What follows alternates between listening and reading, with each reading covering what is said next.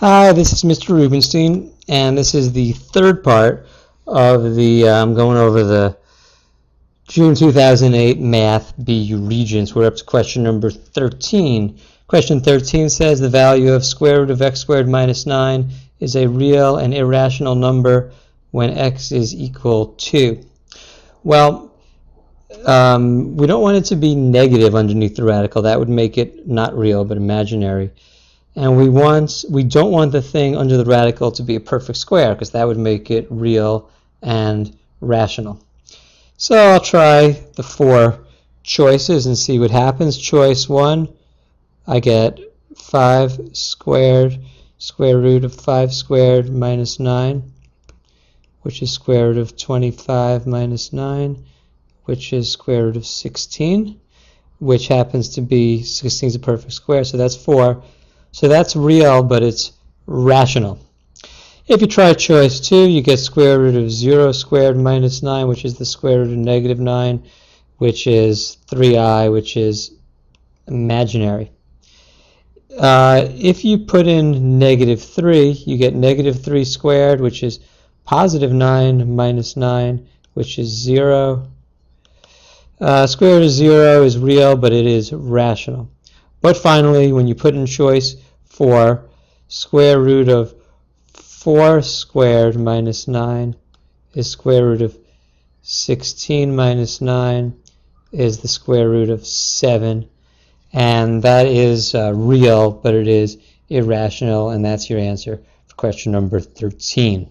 Question 14 says um, 2 to the 4x plus 1 equals 8 to the x plus a.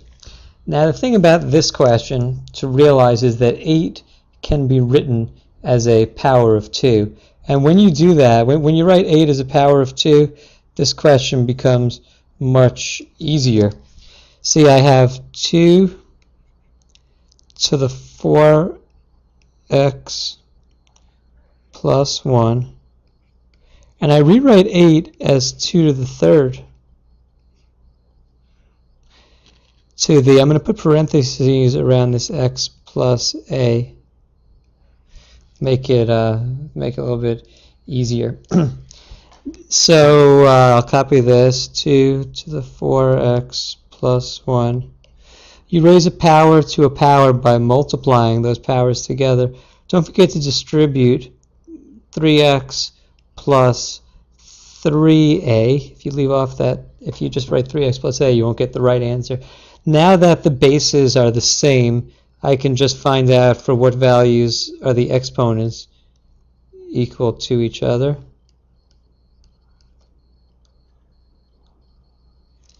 And in this question, they wanted to know, uh, they wanted you to solve for x. So I'll subtract 3x from both sides. X plus 1. And finally subtract 1 from both sides. To get the answer, x equals 3a minus 1, which was choice number 2, and that's question 14. Question 15 says that in 1995 the government paid off one third of its debt. If the original amount of the debt was 4, hmm, trillion nine hundred and twenty billion uh, dollars, which expression represents the amount that was not paid off. You see, they've got this word "not" here, and that's real important. You want to you want to read uh, the question carefully. Um, looks to me like these two choices here are related to if the if, uh, if the how much was paid off. So just be careful about that. The answer I already know is either going to be three or or four. Uh, let's look at this big number. Uh, to change this number into scientific notation, we write it as 4.92 times 10 to the, it's going to be times 10 to a positive power because it's, it's, it's a really uh, big number. Uh, you'd have to move the decimal 1, 2, 3, 4, 5, 6, 7, 8, 9, 10, 11, 10 to the 12. That's the original number. Uh, they want to know uh, what's basically two thirds of of this number, because that would be how much is left. Or you could figure out one third, and then uh, and then subtract. Uh, I think I'll I'll do it that way. 4.92. I could use a calculator, but I'll do it old school. Uh, six, four. So 1.64 times 10 to the 12th is how much they've paid off. If you subtract 1.64 from 4.92 times 10 to the 12th,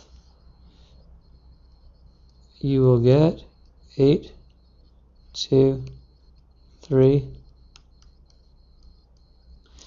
3.28 times 10 to the 12th, which happens to be uh, choice number 4. Question 16 says the expression 2 over sine x minus 5 over sine x minus 1 is equivalent to. So what we have here is um, subtracting fractions. Uh, I'm going to compare this question to an easier question, which would be something like this. 2 over x minus 5. This would be a little bit easier of a question. This x and x minus 1 don't have any common factors, so uh, to get the least common multiple, you just multiply the two things together. Um, I'm going to now move on to the situation we have here, where again, these things don't have any common factors, so I'm just going to multiply them together. So the common denominator is going to be sine x